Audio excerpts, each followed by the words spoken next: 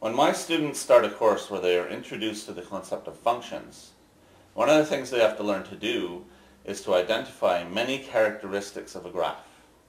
Here is an example where the student is being asked to identify 10 characteristics. The maximum is the first one that we'll talk about. The maximum is the highest point that's included in the answer.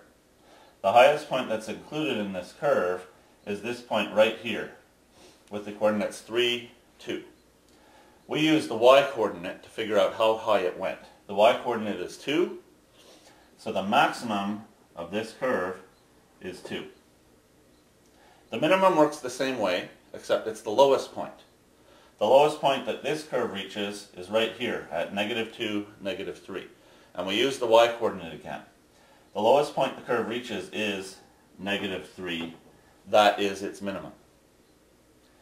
The range is all of the y-coordinates that are in the answer. In this case, the y-coordinates of all of our points range in between negative 3 and 2, the same numbers we use to calculate our minimum and our maximum. So the range of this curve is going to be the interval from negative 3 to positive 2.